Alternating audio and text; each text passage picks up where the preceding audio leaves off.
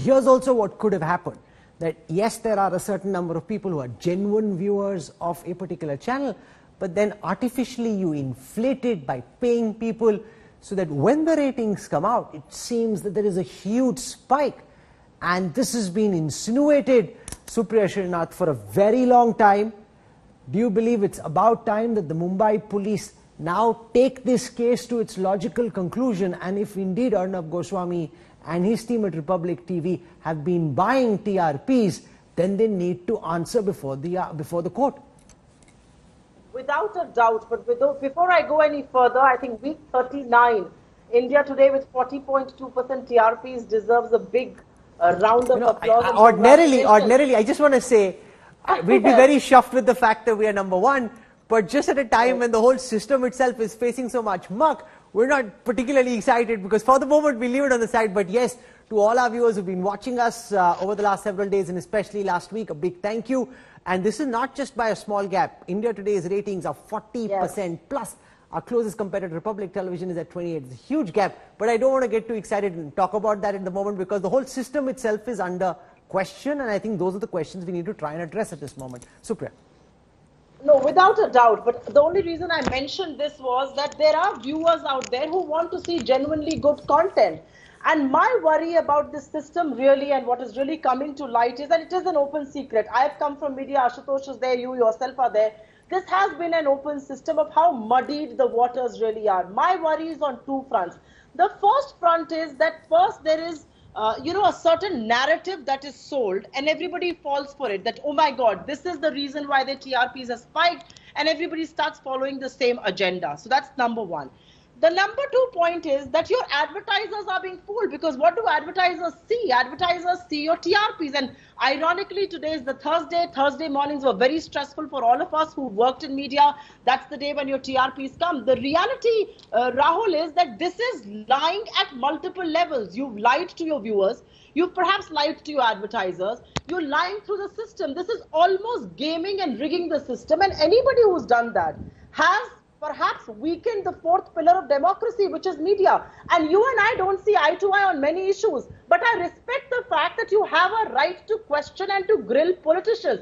If you start running a propaganda and then base your fake TRPs on that, that is where the issue arises. And that's the problem with the particular channel in question today, which is Republic TV. How everybody wanted to follow that one agenda is the big cause of concern. And you and I both know that because English news category is niche, 2,000 households in Mumbai, a few households here and there can really distort the TRP ratings. And who's going to take care of this? Who's going to answer questions there? So the system needs to be fixed, is my big concern. Because Dilip Cherian, journalism is a larger public service.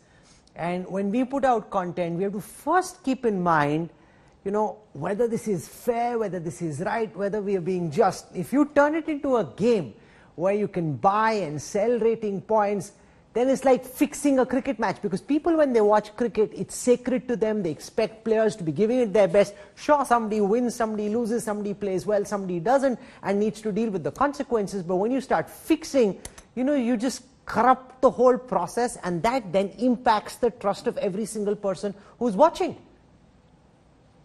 You know, this morning at the um, at the vice presidential debate, there was a line which was bandied around several times which is that you're entitled to your opinion, but you're not entitled to the facts. So the facts need to be brought out. What the police commissioner has started with, and what your questions have also pushed him to reveal, in a sense, is that the facts have been investigated up to a part. Now let's get to the technology of it.